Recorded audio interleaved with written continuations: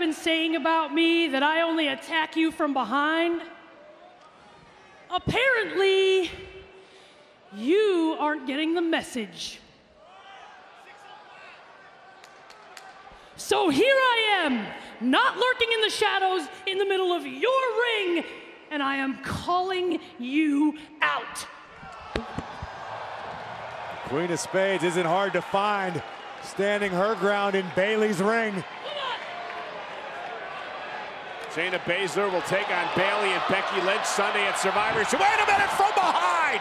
Bayley, the SmackDown Women's Champion, doing just what she accused Baszler of doing earlier tonight. Attacking Baszler from behind, and the fight is now on. Is that what Bayley did, Cole, or did Bayley beat Baszler at her own game? And Bayley, the SmackDown Women's Champion, who complained she's been overlooked in all this.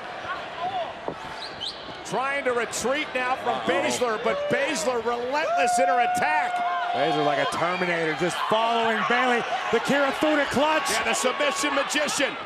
The NXT Women's Champion with a Kirifuda clutch locked in on Bayley. She's taken out so many women over the years with that move, and Bayley able to drive her in the barricade and try to make it out of harm's way, but Baszler again on the attack. And Bayley's in self-preservation mode right now.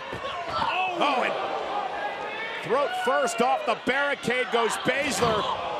Bayley will drive her into the ring post, and the SmackDown Women's Champion Bayley will survive here tonight. But will she survive come Sunday at Survivor Series? It's going to take a little more than that to keep the NXT Women's Champion down. Look in the eyes of Shayna Baszler.